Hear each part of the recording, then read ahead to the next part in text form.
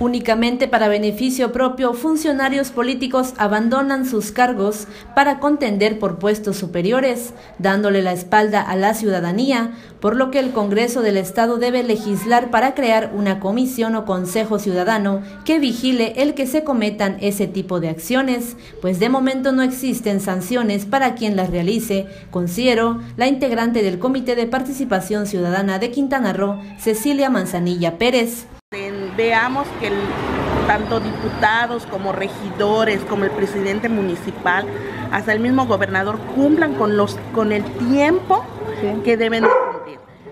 refirió es bueno el que se hayan abierto las oportunidades de participación de la ciudadanía en los trabajos legislativos. Sin embargo, aún falta el que los diputados se interesen y hagan uso de las propuestas. Ahorita que ya se, se dio la pauta para que la ciudadanía entre a dar opiniones al Congreso, eso es bueno, pero sí es importante que no solamente